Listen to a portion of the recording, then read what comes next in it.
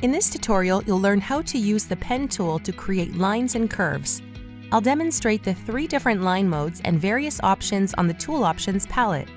Before we get started, if you're watching this video on YouTube, you'll find a link in the description below that will take you to our tutorial page on the Discovery Center.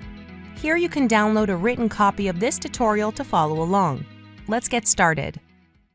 We can use the pen tool to draw straight lines, freeform lines, and connected line segments. To use the pen tool, click on the pen tool icon from the Tools toolbar, or press V on your keyboard. At the top, you can see we have a variety of different options in the Tool Options palette. There are several different modes to choose from, but we are going to start with how to draw a straight line using the Lines Polylines mode.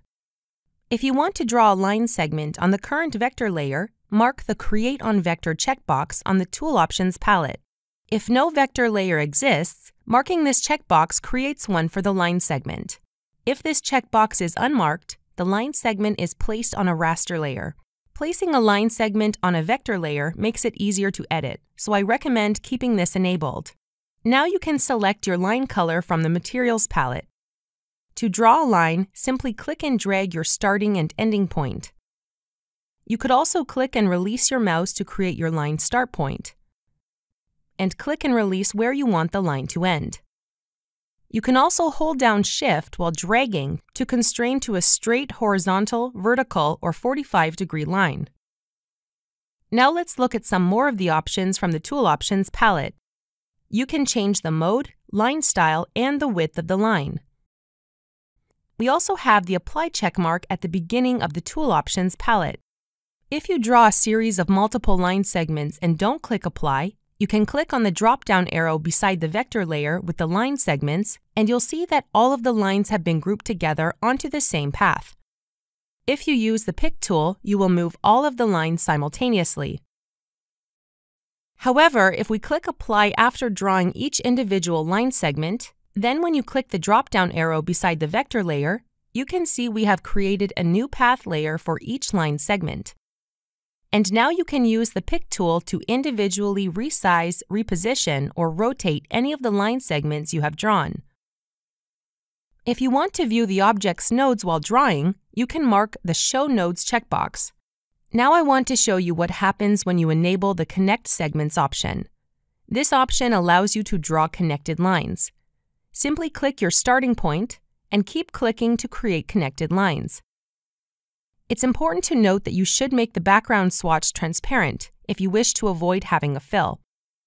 You can see that as I've drawn these connected lines, the background has been automatically filled with the background color. To prevent this, just click on the transparent square under the Background Properties box. Now, when we draw our connected line segments, there will be no automatic fill. There are also three different join options.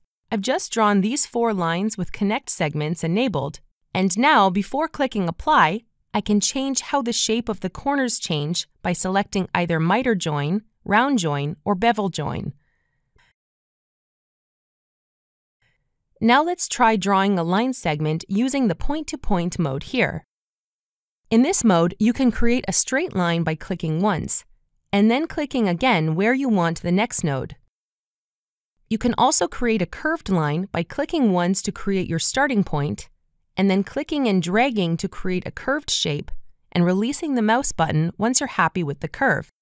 You can also choose to start a new contour from the Tool Options palette to create an open shape where the first and last segments are not connected, or click the Close Selected Open Contours button to create a closed shape where the first and last segments are connected.